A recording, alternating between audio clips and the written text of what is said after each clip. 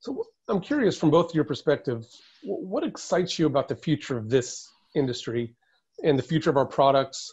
Um, what challenges do you see and, and what impact do you think we can have? So that's, that's four big questions wrapped up into one. Um, James, what, uh, what strikes you?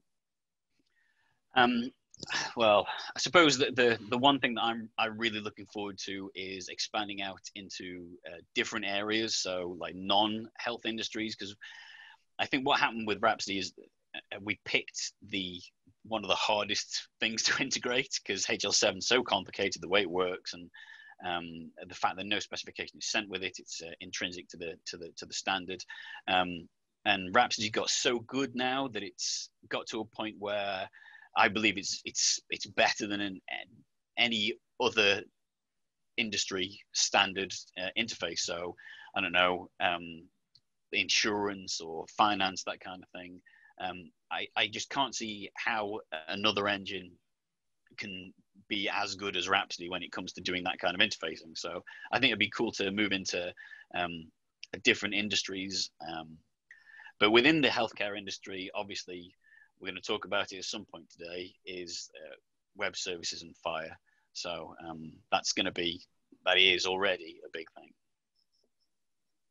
And James, uh, I, I, know you're across the pond, so you don't have uh, some of the government standards uh, and, and uh, things that are put onto you by the US, but uh, re very recently they put out a couple of standards requiring um, insurance companies to be able to use uh, certain kinds of interfaces. And those are things that uh, CorePoint and Rhapsody are both uh, readily and available to use those standards, whether it be uh, FHIR standards, X12 standards that they're currently using. We have those in our, in our, um, uh, in our uh, tool chest. And so we have the ability to do those things. And so we are, and I believe sales is already looking into a lot of people who are, yeah, they're healthcare related because they're insurance, health, health insurance related, right? And there are other companies that are coming to us and saying, okay, well, yeah, we could integrate this uh, by ourselves, but that would take a long time. And you guys already have this. Can we put you in the cloud?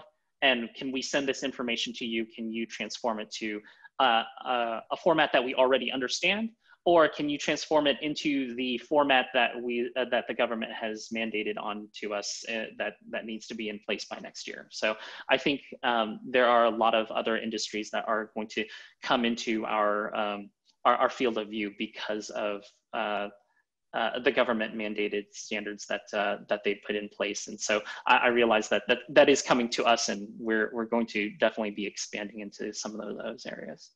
And that's why we're one and two class. Yeah, I, I believe. I mean, that's why that's why we are one and two uh, in, in, in class. So. You mentioned um, the the cloud as well. That's obviously another big thing that everybody's talking about, moving into the cloud and um, I'm, I'm, I'm sure that um, uh, CorePoint could do that, been able to do that for a while, um, and that's something that Rhapsody we're doing at the moment now as well. So it's actually cheaper long term when you think about it. For you don't have to have the hardware move into the cloud. You don't have to support it. You don't have to pay um, their staff to support it either. And they can specialize in other things instead within the hospital rather than having to specialize in, in the hardware support.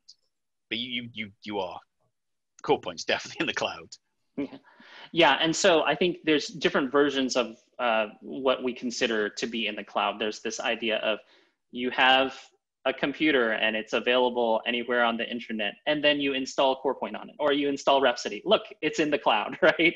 And that's what a lot of versions of uh, CorePoint and Rhapsody in the cloud in Azure or AWS currently is. And in the future, in our, our future, in our combined future, there will be um, a product that we're looking for that combines all of the best things about Rhapsody and best things about CorePoint and into a cloud-based solution that is natively cloud, that is not using SQL backend or whatever, but is usually is using the Azure SQL backend and things like that. It's uh, optimizing things that only cloud-based solutions could do.